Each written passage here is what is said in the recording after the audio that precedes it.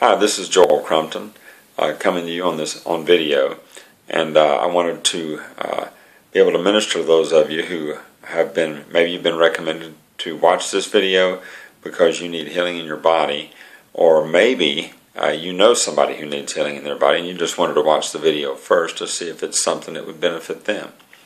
But I can assure you, uh, there's going to be a lot of you that watch this video who need healing in your body, and while you're watching the video, you're going to receive your healing. It's just that simple.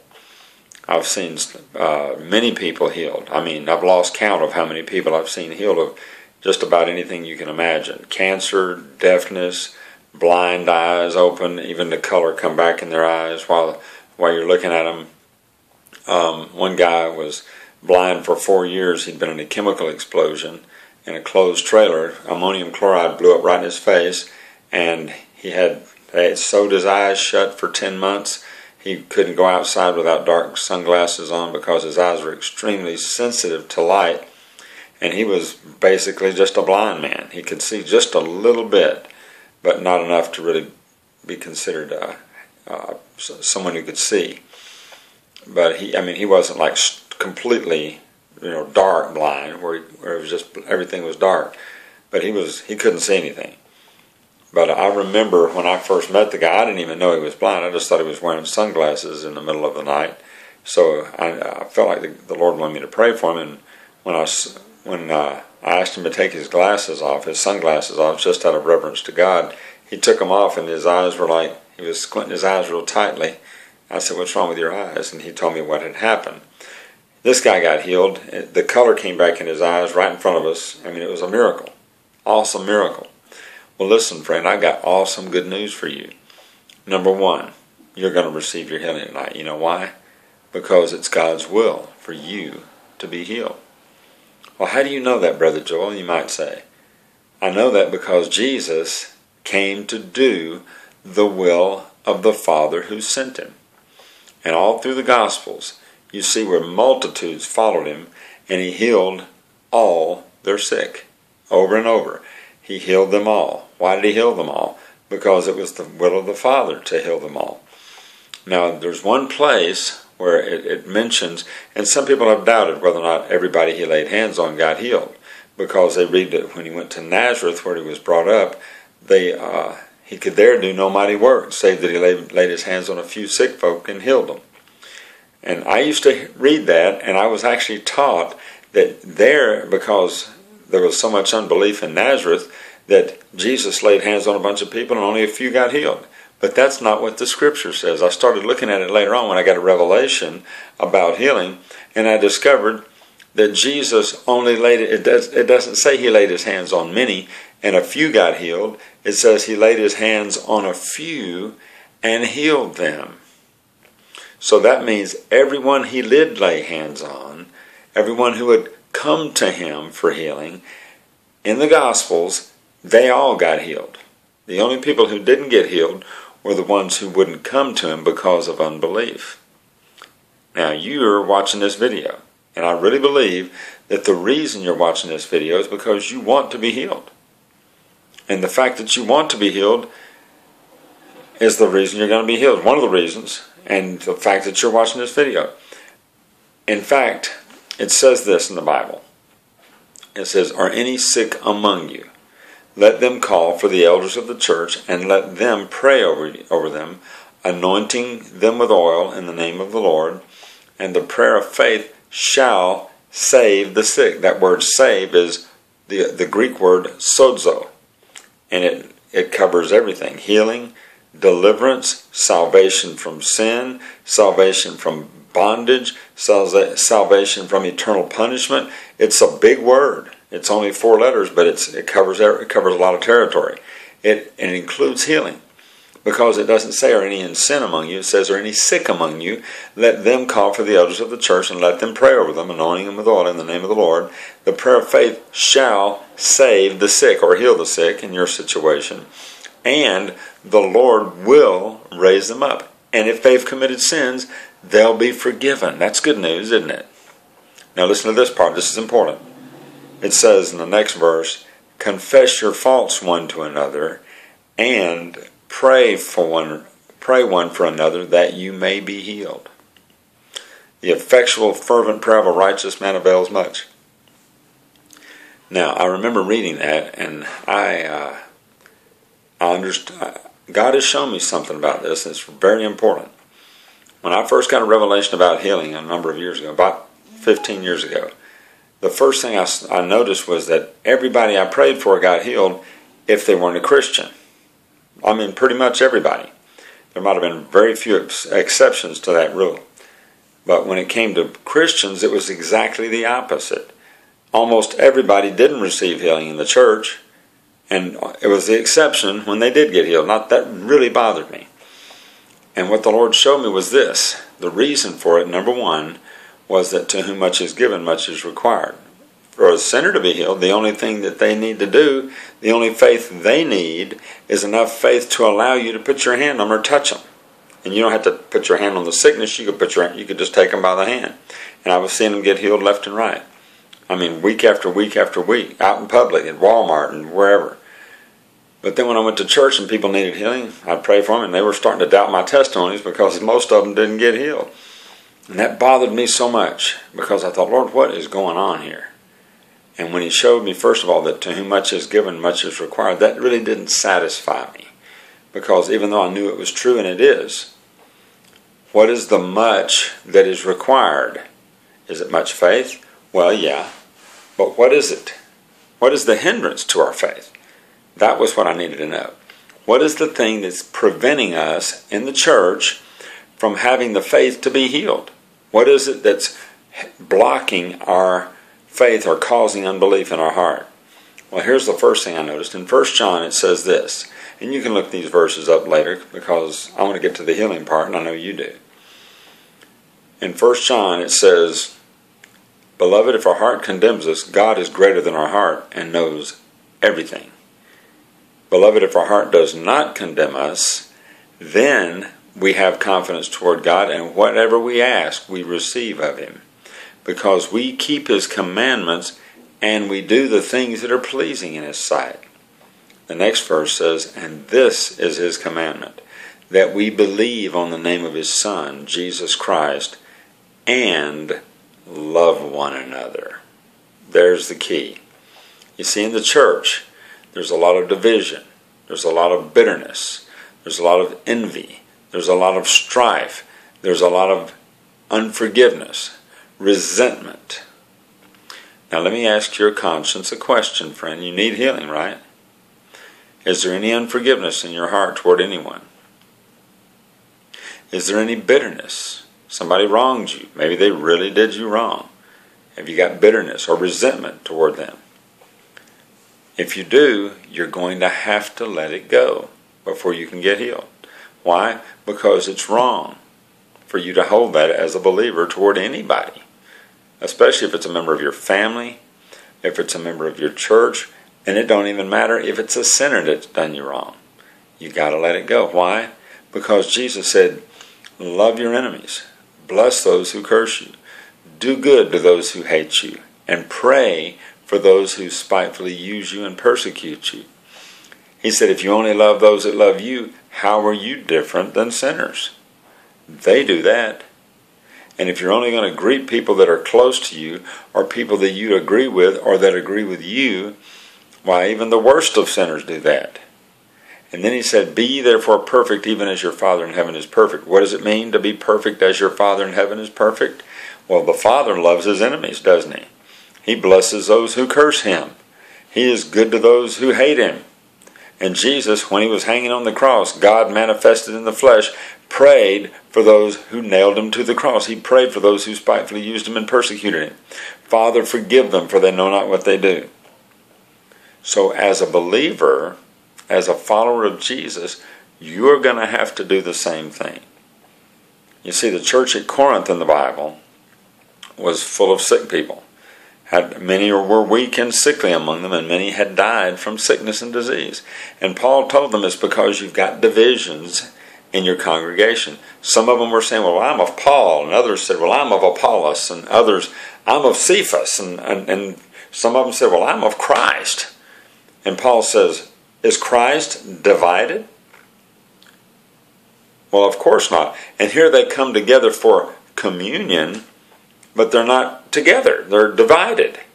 So that when you're partaking of something that represents the coming together of the body as one unit, and yet there's a lot of division in this body, well, you're partaking of that communion unworthily, and you're eating and drinking judgment to yourself, not discerning the Lord's body. Well, his body is not just that physical uh, body of his that's seated at the right hand of the Father.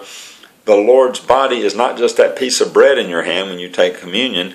The body is other believers in Christ, whether you agree with them or not.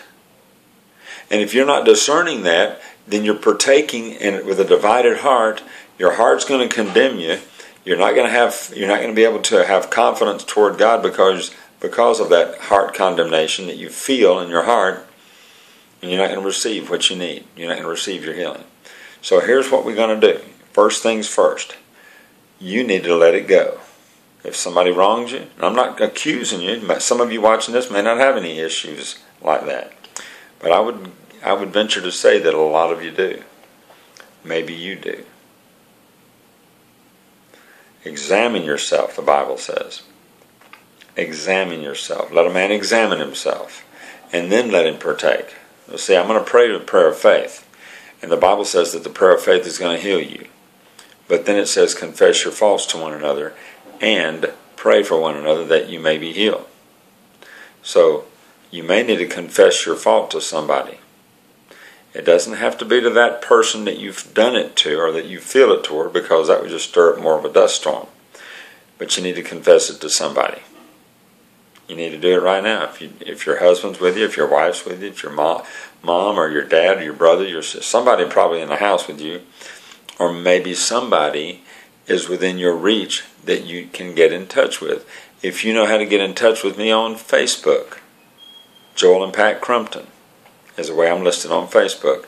Send me a message on Facebook and confess your fault. You don't have to go into detail. Just let me know that you've got unforgiveness and that you're letting it go. And then you can I'll pray for you over over text. I've seen people healed over text message. I didn't see them healed, but they got back in touch with me immediately and said it's it's gone. The, the pain is gone. I'm completely healed. You see, friend, especially listen to me. This is important, especially if you've got something that could kill you, like cancer. You're going to have to let you're going to have to really examine your heart and see if there's anything you need to let go of. You might say, but listen, brother Joel, you don't know what that person did to me. You're right, I don't. But you know what? It doesn't matter what they did to you when it comes to you forgiving them because you've done some pretty bad things to Jesus in your lifetime now, haven't you? You want Him to forgive you. Jesus said, when you stand praying, forgive. Listen, when you stand praying, forgive if you have anything against anyone. Anything against anyone so that your Father in heaven may also forgive you of your trespasses. But if you do not forgive, neither will your Father in heaven forgive you of your trespasses. Friends, you're just going to have to let it go if you want to be healed. And if you want to remain if you want to retain the forgiveness that was already extended to you. Yeah, you can lose your forgiveness if you refuse to forgive. You got Jesus told the parable about it a, man came to uh, to his master and said, and the master said, "Pay me what you owe." And he said, "Be you know, be patient with me, and I will pay you all." But he, there's no way he could pay it. So the master had compassion on him and forgave him the entire debt. What did he do? He goes out to a fellow servant. He says, "Pay me what you owe." And his fellow servant said the same thing. Be you know, be patient with me, and I'll pay you. And he said, "No, I'm not going to be patient with you." So he throws him in jail. His fellow servants heard about it. They went and told the master. The master called him on the carpet and said, Didn't I forgive you? Why couldn't you forgive him? Therefore, because you wicked servant, I'm going to I'm going to uh, revoke your forgiveness. I'm going to sell you, your family, and all that you have, and you're going to be turned over to the tormentors until you pay the full debt. And Jesus said, So shall my heavenly Father do to each one of you if you do not from the heart forgive everyone of their trespasses against you. Pretty important, friend. You're just going to have to do it if you want to be healed. And if you want to maintain your relationship with God, you're going to have to do this. If you'll do it, you'll be healed right now. Yes, you will. You'll be healed right now. Just let it go. Just say to God, Lord, I forgive. I forgive the person that did this to me. I'm letting it go. And when you do that, I'm going to pray the prayer of faith. Now, if you didn't, if if you didn't need to confess it to anybody because there's nothing in your heart toward anyone, you just want to be healed. I had to deal with that because I'm, there's a lot of people going to watch this. Some of you don't need to forgive or let anything go. Maybe you've got envy. Now, let me touch on that for a minute before I forget. Envy is when you're jealous because God used somebody else or God did something for somebody else, especially somebody that you don't think deserves it as much as you do. Listen to me. If you think God gave somebody something or did something for somebody else that you believe is far less worthy for Him to do it for than you are, that's envy. And that's odious to God. Let me give you an example. I had a young lady one time. She and her husband had been married for a few years. They wanted to have children. She couldn't have children. She couldn't even be intimate with her husband. It was too painful. So uh, she wanted me to come over and pray for them. Or they did. They wanted me to come over and pray for her, that is, that she would be healed and that they could have children. So I said, okay. So I go over to the house. She came into the room. I asked her if she had any bitterness, resentment, or unforgiveness. She goes, no. And I said, what about envy? And she goes, well, when you said envy, immediately I felt in my heart, in my spirit, that the Lord showed me I've got envy towards somebody, but I don't know who it is. I said, well, God will show you. I said, when He shows you, are you willing to let it go? And she said, yeah. I said, well, God will go ahead and forgive you of your envy on credit, but you better make sure when He shows you that you deal with it and don't and let it go. Because you're gonna be tempted. Oh no, I can't let that go. No, you gotta let it go, or you'll lose your healing and or worse. She said, I'll let it go. So I prayed for her. I said, You're healed. Now you're gonna have children. It's that simple. Well, a few days later the Lord showed her who it was. And she goes, Her? I have envy toward her? I don't know why I would envy this girl because my goodness, this girl backslid. She got away from God. She ended up sleeping around with a bunch of guys, got pregnant out of wedlock, had a child out of wedlock. Why would I envy her? And so she said, Well, the Lord showed me that I have envy toward her. I guess I'll send her a little email and ask her to forgive me for having envy toward her. So she said, While I'm typing the email up, the Lord just reminded me of how I said to him, Now, Lord, I don't understand why she can have children and she's backslid. She's not even living for you. I live for you all the time. I've never backslidden on you like that. And you won't let me have children. I don't understand that, Lord. Well, that's envy. The Lord showed her that's envy. And you got to let that go. She immediately was convicted, changed her email, asked the girl to forgive her, and they got a beautiful little boy now. Yeah, she got pregnant. They had a beautiful little boy and they just had a little girl, so this is serious. Yep, you got to deal with it, friend. So if you need to deal with it, go ahead and deal with it now. Go ahead, just ask the Lord to forgive you. Ask the Lord to forgive them, the person that wronged you, or the person you have envy toward. Just say, I'm letting it go right now. Just do it right now. I'm letting it go. Forgive me, Lord Jesus, for holding this toward them. Forgive them for what they've done to me. Now listen to me. You're forgiven. If you did that, I can tell you with, with authority, your sin's forgiven also. The sin of envy, the sin of unforgiveness, bitterness, resentment, whatever it was. Let me have a drink of water.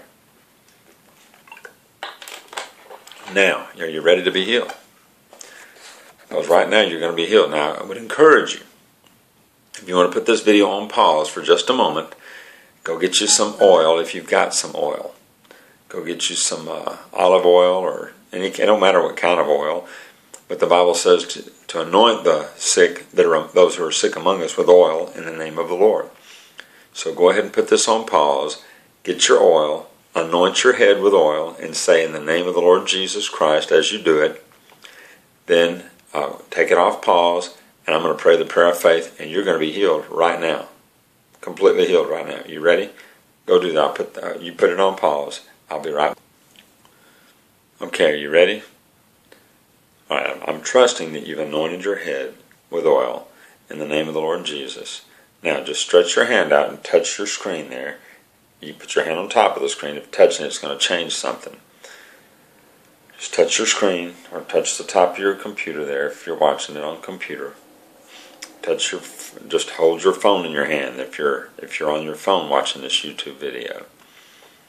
I'm going to pray the prayer of faith. The power of God is going to go into you. All the pain, all the infirmity is going to leave you right now.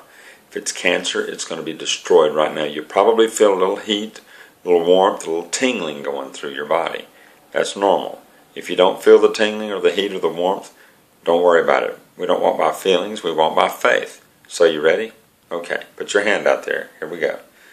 In the name of the Lord Jesus Christ, Father, I pray the prayer of faith for my brother, my sister, whoever's watching this video right now that needs healing. And I thank you, Father, that your word says that the prayer of faith will heal the sick and that you will raise them up. I thank you, Father, that you said that if they've committed sins, the sins will be forgiven them. So, right now, in the name of the Lord Jesus Christ, I release your healing power to this person. And I thank you, Father, that your healing power is going into their body now, and it's destroying the works of the devil. It's healing them now. Thank you, Lord Jesus, for your healing power that's going into them. There it is right there, friend. Thank you, Jesus, for healing my, my brother. Thank you, Jesus, for healing my sister in Christ. Thank you, Jesus. Now I command all infirmity to go. I command cancer to disappear now. I command pain to stop and leave your body now. In the name of the Lord Jesus Christ, be healed. Be made whole now. Thank you, Lord. There's, there's God's healing power going through you. You may feel some tingling.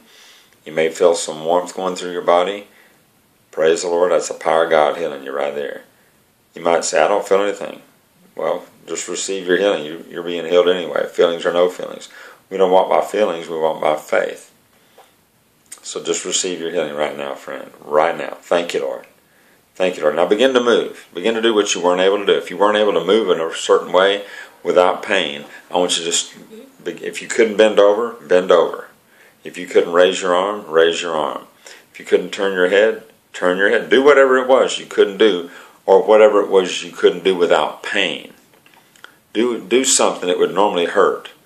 If it's squatting down, squat down. If it's whatever it is, check yourself. Do something you weren't able to do. Now, maybe there was nothing that you could do to make it hurt, but you just need to go to the doctor and get yourself checked. That's fine too. We had a woman that came to one of our meetings in uh, at the border of Mexico. One of the first times I taught on this, and I had the people forgive everybody who had wronged them. She was one of the ones that came to the altar to forgive, to confess that she had wrong, that somebody had wronged her, and uh, she'd left the church a number of years before because of uh, an offense. Somebody offended her, somebody did, did her wrong. She had started coming back about six weeks before this, and uh, she had cancer of the blood. She was given a death sentence. So that night she forgave whoever it was that wronged her. She let it go. That same night that she let that go, I laid hands on her and prayed for her the prayer of faith. The power of God went into her she didn't feel anything, but except she felt better. She said, I feel better. So I said, go to the doctor, said it through the interpreter, go to your doctor tomorrow and get checked, and you'll notice that your the cancer is gone. Sure enough, she went to the doctor the next day. The pastor, the actually the, the pastor of the church called the missionary who had invited me there while we were installing a, a roof or a, a, a drop ceiling inside the church sanctuary. And the woman called, the pastor called the missionary and the missionary started rejoicing. I said, What is it? He said, That woman that you prayed for that had cancer of the blood, she went to the doctor today. The doctor told her that she is cancer free. Now listen to me. Isn't that awesome? Listen to me. What God did for her, He just did for you. you just got healed. I want you to send me a note. I want you to comment on, in the comment section below this video, right down at the bottom down there, and let me know what happened to you. Let me know that you about your healing. Give me your testimony. God bless you, friend. In Jesus' name.